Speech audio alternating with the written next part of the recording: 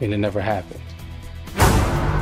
Una de las grandes películas más esperadas este año es el largometraje de Christopher Nolan titulada Tenet, la cual ya tuvo muchos retrasos en su llegada a las salas de cine, y aunque se pensaba que se retrasaría inevitablemente hasta el próximo año 2021, la compañía de Warner Bros. la mantuvo para este año, creando una modalidad de estreno en las pantallas grandes diferente, ya que Tenet se estrenaría por diferentes lugares donde los cines ya están abiertos para todo público. En uno de los primeros lugares para la llegada de esta película fue para Corea del Sur, donde los cines ya están abiertos pero con sus restricciones para proteger la salud de las personas, lo que hizo que el aforo de las salas de cine se vean reducidas. La película de Tenet logró recaudar hasta el momento la suma de 715 mil dólares, esto sobre todo por el fin de semana, que es donde ocurre una mayor concurrencia de personas a estos lugares de entretenimiento. Y aunque no llega ni al millón de dólares, hay que recalcar que en estos tiempos esta cifra para hacer su primer fin de semana podría significar que tenga un éxito a largo plazo.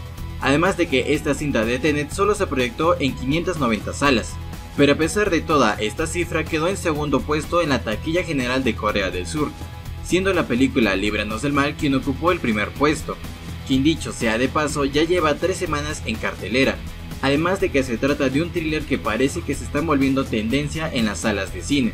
Así que de momento la película de Tenet no logró alcanzar el primer puesto en la taquilla, y ahora con la más reciente noticia parece que esto no se podrá alcanzar, ya que los cines en este lado del mundo se volverían a cerrar, esto por complicaciones en la salud de las personas. Así que tal vez Tenet ya no logre tener una gran recaudación en Corea del Sur, pero no se sabe por cuánto tiempo más estarán cerradas las salas de cine. Quizás la película ya sea llevada a otra parte del mundo para ser proyectada. Claro que tiene que ser donde los cines ya estén abiertos al público.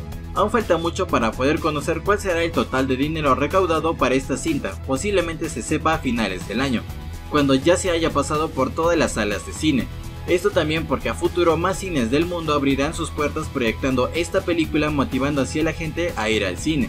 Seguramente para este lado del mundo aún falta mucho para su llegada, pero esperemos que sea este año y poder disfrutar de lo nuevo que nos mostrará Christopher Nolan en su película de Tenet.